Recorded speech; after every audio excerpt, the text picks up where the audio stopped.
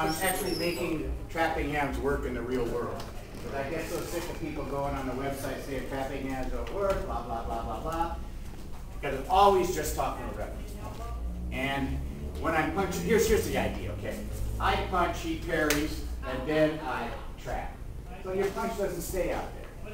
Your finger jab might, but your punch doesn't. Your punch is going boom like this and it's back. So how do I trap that? So we're going to give some basic ideas, some basic principles here. One is learning to stick. So we're going to start here. We just we just do one side. I'm just going like this. And what I want to do then is I want to pop down, and there was an airspace. So he doesn't want it. He wants to stick to me. That's it. That's it. Just stick.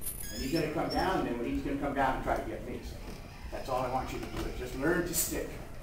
Learn to stick. Later, you can go more advanced, we're not going to do that. Just stick. Yes, sir. Okay? Just stick. You're trying to touch his shoulder, trying to touch your shoulder. Stay here for a minute. Stick to it, stick. Stick, stick, because you're pushing on you.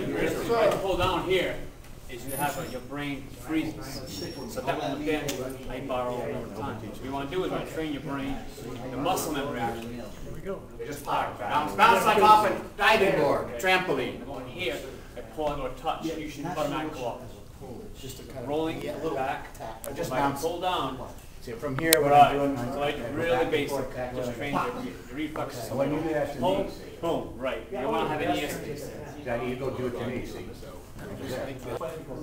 Okay, I don't want to spend too much time on this. It's just the idea of, of sticking. Now, the way the Wing Chun, that was a, a, from, from like a more of a Tai Chi idea or a Hsing-I idea.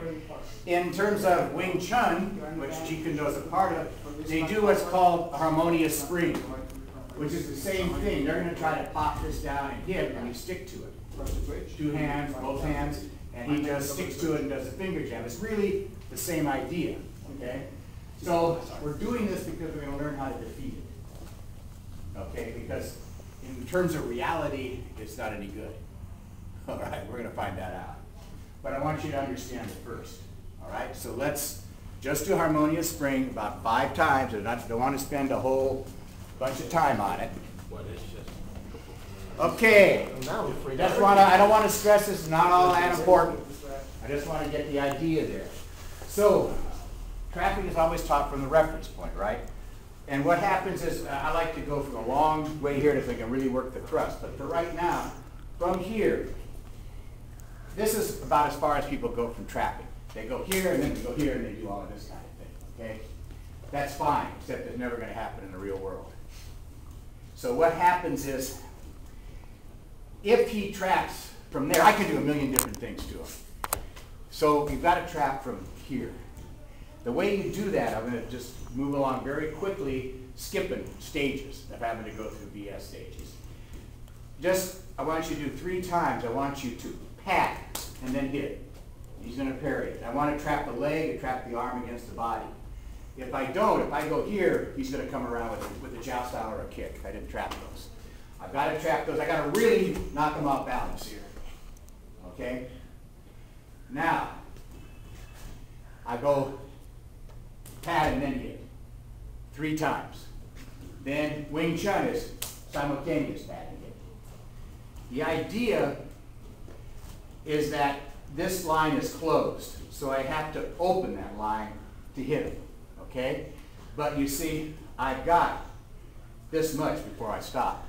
So I start the hand first, boom. And that's gonna be the key to making trapping work. Okay, so go pop, hit, he'll parry it, pop, hit, he'll parry it, simultaneous, he'll parry it, simultaneous, he'll parry it, and then you'll just hit him, okay? All right. Hey, Yeah, right to right, left to left. Now, what he's gonna do is, we'll be right to right, and he's going to step in and punch. When he does, yeah, punch. I'm gonna slide, all right?